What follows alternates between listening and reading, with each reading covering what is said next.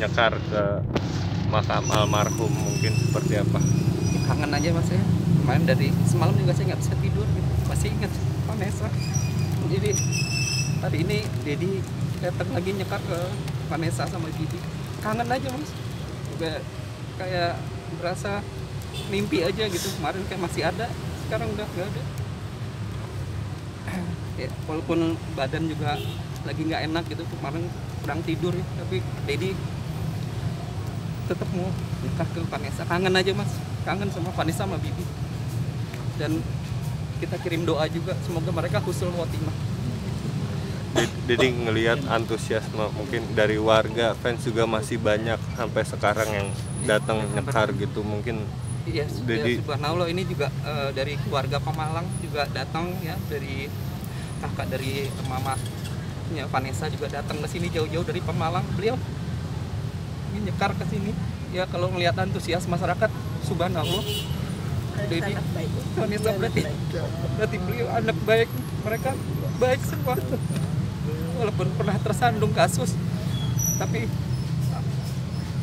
akhir hayatnya benar-benar mereka baik dan ya subhanallah aja itu sih mas jadi mungkin update eh, Kabar gala sendiri gimana sih mungkin Gala di- eh doain aja ya teman-teman. Insya Allah hari ini pulang ya. ya. cepat pulih sudah penyembuhan. Hari ini mungkin eh, balik ke Jakarta. Nanti saya akan koordinasi dengan adik diinfokan aja. Ya untuk Gala doain aja. Semoga dia sehat-sehat aja jadi anak yang kuat. Insya Allah sih hari ini kalau nggak besok pulang. Kondisinya sehat ya, Bapak? sehat ya.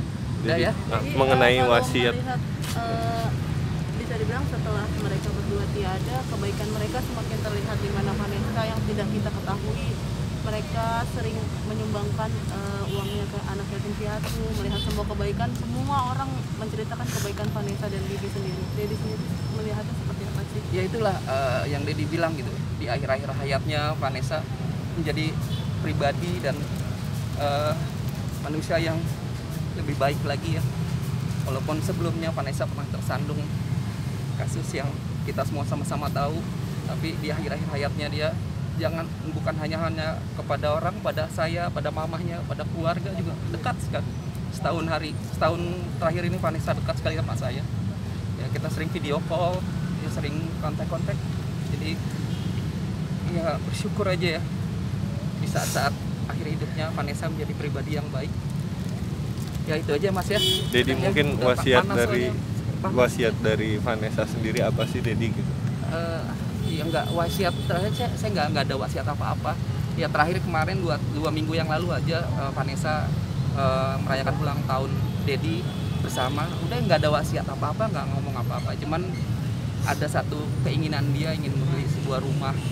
Bibi juga sama Vanessa minta doanya ke mamahnya ke saya mah doain ya Vanessa mau beli rumah. Kalau misalnya emang ada rezeki yang itu aja terakhir sih keinginannya Vanessa sama Bibi yang belum terlaksana. Sudah ya ya. Jalan aja ya, sambil jalan sambil jalan ya Panas sambil jalan. gerah saya. Mohon